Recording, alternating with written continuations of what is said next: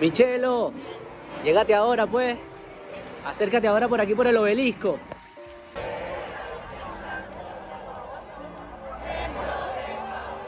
Justo ahora no puedo, amigo. Qué cagada. Estoy por León, España. Sí, mira, un lugar muy bonito y la verdad que me encanta, mira, León. Y bueno, yo sé que mucha gente se burla de ustedes, los venezolanos, que dicen Venezuela libre, que dicen que protesta de pedidos ya y de Rappi, pero yo la verdad que tengo envidia a ustedes, los venezolanos. Perdón, ¿no? yo sé que la envidia es mala, como cristiano, porque ustedes tienen las mayores reservas de petróleo del mundo. Y va a decir, ah, ya está con el cuento de la reserva. Y además, yo en ningún momento voy a pelear con ustedes, a insultarme, a golpearnos. No, no. Yo digo argumentos y bueno, espero contraargumentos de respuesta. No amenazas de muerte ni nada de eso. Pero básicamente, amigos, ustedes van a ser la futura potencia mundial. Por más que hoy vos pensés que tenés que hacer un golpe de Estado en Venezuela, intervenga el Comando Sur. Pero bueno, si uno ve un poquito de historia, por eso me tomo el tiempo de explicarte, porque bueno, yo, yo quiero que ustedes abran la mente.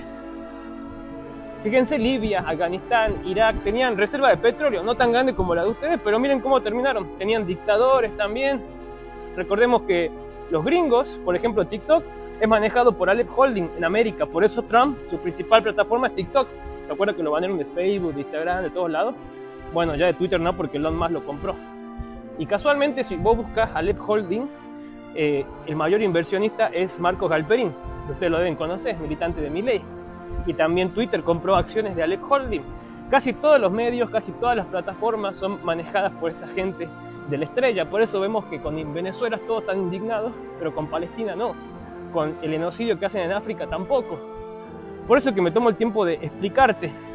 Ustedes tienen que pedir la libertad, pero desde un país soberano, que le levanten las sanciones. Porque acá en España los, los yanquis también hicieron sanciones, bloqueo económico. España en 1947 fue condenada a morir de hambre por Estados Unidos. Siendo una potencia europea, sufrió hambre, escasez. Porque yo te explico, ¿no? Usemos de ejemplo esta casa. Damos de cuenta que vos vivís en esa casa. Tenés un montón de oro, cosas valiosas. Yo soy gringo y te pongo todo mi ejército a rodear la casa. Y le prohíbo a toda la ciudad que, que te compren las cosas y que vos vendas tus cosas. Al que, al que te compre cosas, ¡pum! Bala. Obviamente, ¿de qué te sirven las riquezas si estás bloqueado? Un gran ejemplo es la historia esta de Pablo Escobar. Él tenía miles de millones de dólares, pero era perseguido por el gobierno y no podía usar su plata, así que no le servía de nada. ¿De qué te sirve el dinero, el recurso, el petróleo si no puedes comercializar? No lo estoy inventando yo. Todos los países que han sido bloqueados históricamente se han hambreado. Un ejemplo, del otro lado. Recordemos que una vez eh, la Rusia de Stalin bloqueó Ucrania y la gente se empezó a comer entre ellos. Tenían tierras fértiles, comida, todo, pero bueno, al estar bloqueado no puedes hacer nada. Y es más, eh, corre el rumor de que China le va a hacer un bloqueo a Estados Unidos y ahí van a sufrir escasez. Pero bueno, yo creo que ustedes, ustedes son la futura potencia de Latinoamérica y realmente tienen que pedir las, que se levanten las sanciones. Y otra cosa, Edmundo González fue acusado de quitarle la vida a sacerdotes. Corina Machado le escribió una carta a Netanyahu, que es atroz el genocidio que está haciendo el rey Herodes ahí en Palestina. Toda esta gente está alineada con Israel, manejan todos los medios de comunicación. Si ustedes ven, el dueño de Google pertenece a la estrella. Mark Zuckerberg pertenece a la estrella. Los que administran TikTok en América pertenecen a la estrella. Todas las redes sociales pertenecen a la estrella. Por eso, amigo, abrí los ojos. Me encantaría entrevistarlo a ustedes si quieren. Yo voy a dar argumentos y espero contraargumentos. Si me quieren insultar, golpear, bueno, ustedes van a quedar expuestos así. Pero yo lo que tengo son pruebas, argumentos. Y fíjense, qué casualidad, ¿no? Ahora todos indignados con Venezuela, pero ¿por qué con el resto de los países no? Vemos que en el Congo creo que hay, hay, un, hay un genocidio también. Nadie habla nada. Porque están saqueando los recursos. Ese es el problema. A ustedes le van a hablar de libertad y democracia una vez que entre ahí el Comando Sur ahí sí van a sufrir todos los que están en Venezuela. Y lamentablemente ustedes, que están en otros países, no la van a padecer, amigos. Realmente Venezuela tiene todo para ser la futura potencia mundial. Pero con bloqueo económico eso es imposible, imposible. Pero en la Biblia también nos dice, el que a espada mata, a espada muere. Y no vaya a ser que a Estados Unidos le paguen con la misma moneda, porque Estados Unidos solamente tiene 10 años de petróleo. Por eso están desesperados por el petróleo venezolano. Y ustedes chicos que son trabajadores, que somos del mismo grupo, porque yo también soy un laburante, yo he trabajado en pedido ya y buscarlo en YouTube. No me crean, a mí buscarlo en YouTube. Esto antes de que yo opine de política ni nada. Yo me estaba cagando de hambre y todo el capital que tenía trabajando en pedido ya, que era la plata de dos, tres pizzas, me la robo pedido ya.